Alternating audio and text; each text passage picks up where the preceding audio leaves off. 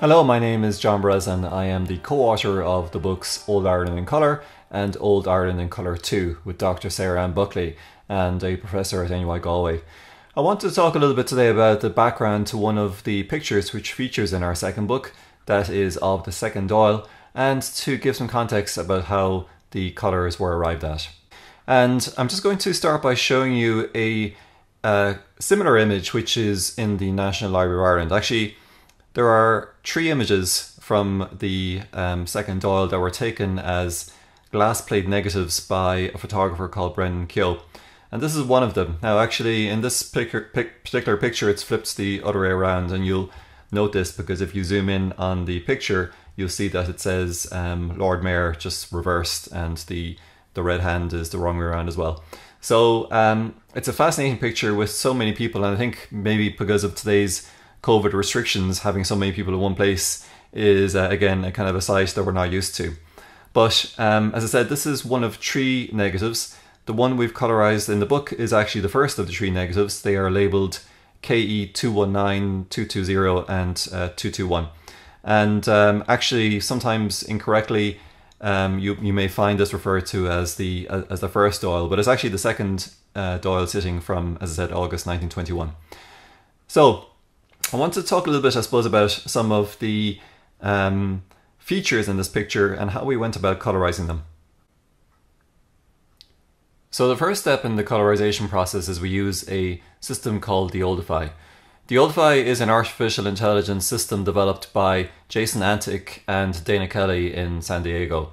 And um, with Deoldify, there are a number of models available where essentially it's been trained or has learned from different banks of black and white to color images that are mapped uh, one to the other.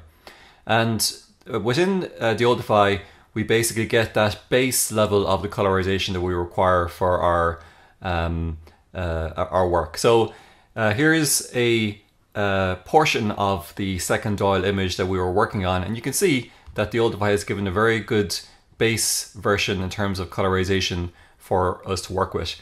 Now, there are some elements that need to be uh, fixed here. There are some faces that haven't been coloured in. There are some clothes that are actually, actually a lot of the clothes come out this kind of purpley, bluey colour. And because of the amount of detail on this image, there is quite a lot of things to be um, manually adjusted. And I'm using this platform, which is Photoshop, a very well known platform for photo editing, to do that. Now, I also make use of a number of models from uh, not just on the MyHeritage um, in Colour service, which is a commercial service powered by Deoldify, but also another one called Colorize Images. And through a combination of models from Deoldify and Colorize Images, I combine these in different uh, levels to get a desired outcome. Now, one of the inspirations for um, the colorization of, of the second Dáil picture are the various paintings that have preceded it. And there are two main paintings. One is uh, from Thomas Ryan, and it is visible in the um, Houses of the Oireachtas. And the second is a painting by Norman Teeling. And I'm just going to show you these now as well. So this is the painting by Thomas Ryan. Thomas Ryan uh, sadly recently passed away. He was a very well-known painter and this particular painting, as I mentioned, uh, hangs in the Dáil. So it's of the uh, scene in the round room of the mansion house and indeed, you can see uh, great colour used here from the incandescent lights to the red drapes to the green tablecloth. So this is one of the uh, images that served as inspiration for our colorization. Um, the second image was one from Norman Teeling. And again, we see a, great view here of the second Dáil. We can see the red drapes, we can see the, the yellow um, light. Um, so both Teeling and Ryan were born after this actually occurred. Uh, Ryan was born in 1929, I believe, and Teeling in 1944. So they were obviously using their own references in terms of the colors used for this picture, and uh, we, we have done the same. So I'm going to start by just saying a little bit about some of the items you can see in the background, and then how we came up with the colors photos. So this is a portion of the original black and white image of KE219 and you can see here in the center of the photograph, we have Michael Collins sitting beside Arthur Griffith in the sofa, and beside him is Eamon de Valera reading something from some paper, Um, and on the days we have um, Eoin MacNeill, who is the Cathaoirleach, and you can see various characters here in the photograph. Some Capuchin monks. There's a priest. Um, in fact, there's quite a number of priests in this picture. Um, we have uh, Constance Markievicz. There's many of the later presidents of Ireland seen, can be seen in this photograph. An uh, amazing detail in this picture. And actually, to find out some of the names, there is a, another great photograph on the National Library of Ireland, which is again from the same session. And actually, it's a scan of a picture from the Irish press. And in this picture, you can see actually the names of those attending. So, again, a who's who in um, Irish politics at the time. Um, so then we bring this uh, photograph into, as I said, into Deoldify, and then after that we apply manual colorization to the various scenes in that photograph. So I'm going to just show you um, the colorized version.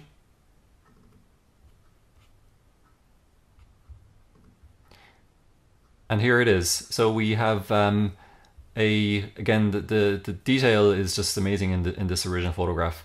So we use various um, known clothes colors at the time. Uh, so, you know, people typically wore combinations of brown colors, grays, blacks, blues, and so on. And we would have chosen various variations of those for the people in, in the crowd.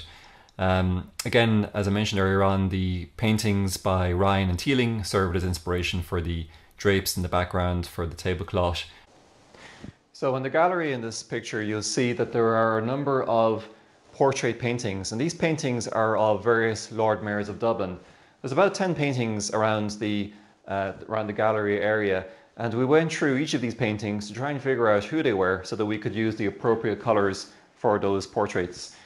Um, secondly, behind the portrait paintings, you see that there are actually a number of coats of arms. And again, the coats of arms correspond to various Lord Mayors of Dublin. And we went through all of these coats of arms to figure out who they were, what were the correct colours that should have been used to be able to add the appropriate colours to this picture.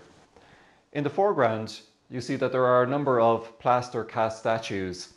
Three of these are actually three of a set of four um, that are were cast from a statue of um, Prince Albert, and at the plinth of that statue there were four figures representing science, which is on the the, the left here, uh, science showing holding a telescope, and actually under the person's foot there is an old style camera. And we have industry over in the middle, holding a metal bar on top of an anvil. And then over here on the right, there is um, art, and the artist holding their portfolio. The statue or the plaster cast of the statue of agriculture is not visible in this picture. Um, the only other portrait that isn't of a Dublin Lord Mayor is the one in the centre here, which is of Parnell, just behind the day where the uh, chairperson is sitting. So in relation to the portrait paintings, one very useful resource I found was a book called the Dublin Civic Portrait Collection by Mary Clark. And I bought this from uh, Castle Bookshop in Mayo. And actually, if, if, you look at the cover, we have uh, Daniel O'Connell featured here. And Daniel actually was one of the Lord Mayors of Dublin featured in these portraits at the back. And again, working uh, our way from left to right in terms of the portraits, the first one visible is that of Charles Thorp. And Charles Thorp was the Lord Mayor of Dublin from 1800 to 1801 and indeed we were able to use the colours in this picture to help us to colorise the portrait of Thorp visible here in the gallery and subsequently all the other mayors um, shown in sequence um, we were able to find the portraits for those in this really fantastic book. So um, that was again extremely useful in terms of the colours for the portrait paintings. The other aspect was the coats of arms that are visible either partially obscured or fully visible um, around the gallery as well. And again, there's a sequence of pictures here which is in order of the Lord Mayors. And I've written the names in here for the ones that I was able to find. And again, there were some very useful resources I was able to make use of. One of those was a blog post on a Irish heraldry um, blog, and it was from 2016, from five years ago. But basically, it was photographs of the Lord Mayor's coats of arms dating back to Daniel O'Connell and all of the Lord Mayors um, after that. And again, because these were in sequence and they actually roughly corresponded to the order of those shown in the photograph, I was able to match up the colors um, from this blog post to those in the picture. So you can see Joynt, Carroll, Purdon, and so on. There were three actually of the um, the, uh, the, the mayors you can see here, Joynt, Carroll, and Purdon. So we are able to match up those colors to the various portions or partially visible coats of arms here as well.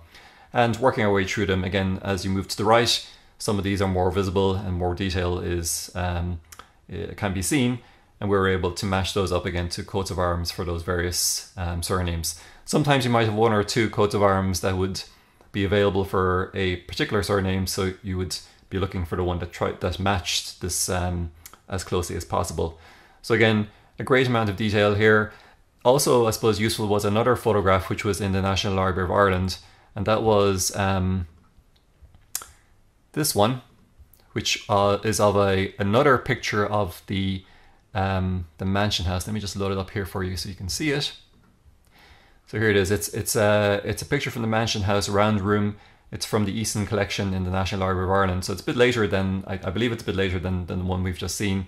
But again, up here you can see the coats of arms, and because I could see them here in sequence, I was able to line those up to the ones that were partially visible in the second Dáil picture, and then figure out what order they were in, and use that then as well in terms of um, understanding um, what color should be used.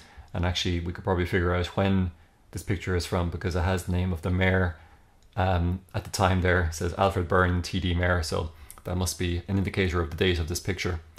Um, and then the last resource I was able to use was a list of the mayors of Dublin, which was uh, again just publicly available on, on Wikipedia. And again, I was able to cross reference this with a list of the paintings and with the coats of arms to try and figure out what sequence they were in. So that's it from behind the scenes. I hope you enjoyed seeing a little bit behind the work that goes into each photograph in Old Ireland Colour 2. Thanks for watching and I'll see you again soon. Thanks.